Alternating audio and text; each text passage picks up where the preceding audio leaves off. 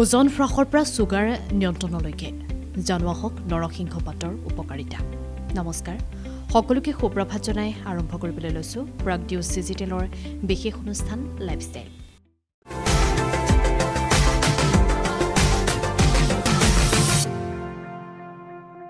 ভাৰতীয় পাকঘৰতে হওক বা অসমীয়া পাকঘৰত ব্যাপকভাৱে ব্যৱহাৰ কৰা হয় নৰসিংহ পাত।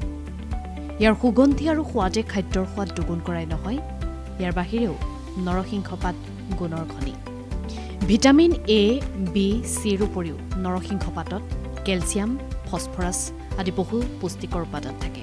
দ্বিতীয়তে আইৰণৰ এক উৎকৃষ্ট উৎস নৰসিংহ পাত খাদ্যত ব্যৱহাৰ কৰাৰ উপৰিও নৰসিংহ পাত চোবাই বা ৰস হিচাপে আপুনি ব্যৱহাৰ কৰিব পাৰে। ইয়াৰ দ্বাৰা স্বাস্থ্যৰ বহু উপকাৰ সাধন হয়। আপুনি নিশ্চয় নৰসিংহ পাত খাদ্যত ব্যৱহাৰ হোৱা দেখিছে বা খাইছে।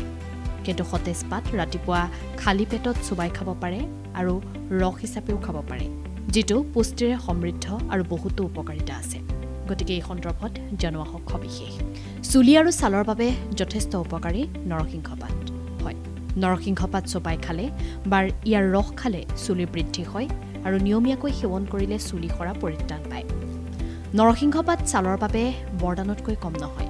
ইয়াৰ ফলত ছালখন সুস্থ হৈ উঠে পিম্পল বলিৰেখা আদি ৰোধ হয়। নৰসিংহ পাত খোৱাৰ উপৰিও ইয়াত চুলি আৰু ছালত আপুনি সানিবও পাৰে। ওজন কমাবলৈ নৰসিংহ পাত সহায়ক। পুৱা খালী পেটত নৰসিংহ পাত চোবাই খালে বা ইয়াৰ ৰস সেৱন কৰিলে আপোনাৰ ফিটনেছ বৃদ্ধি পায়।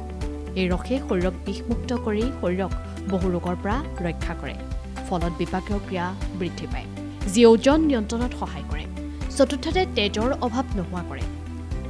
নৰসিংহ পাত আইৰণৰ এক উৎকৃষ্ট উৎস যিয়ে শৰীৰত হিমগ্লবিন উৎপাদনত সহায় কৰে আৰু ৰক্তহীনতা প্ৰতিৰোধ কৰে। ৰক্তহীনতা সমস্যা থকা লোকসকলে নৰসিংহ পাতক খাদ্যৰ অংশ হিচাপে ল'ব পাৰে। আৰু শেষত ডায়েবেটিছত যথেষ্ট উপকাৰী নৰসিংহ পাত নৰসিংহ পাতৰ ৰস ডায়েবেটিছ ৰোগীৰ বাবে উপকাৰী। কাৰণ নৰসিংহ ৰস সেৱন কৰিলে তেজত ছুগাৰ বৃদ্ধি নিয়ন্ত্ৰণ হয়। আৰু যিসকল লোকত ব্লাড ছুগাৰ কম হয় তেওঁলোকে নৰসিংহ পাতৰ ৰস খাব নালাগে। গতিকে ওজন হ্ৰাসৰ পৰা ছুগাৰ নিয়ন্ত্ৰণলৈকে নৰসিংহ পাতৰ উপকাৰিতা কি কি?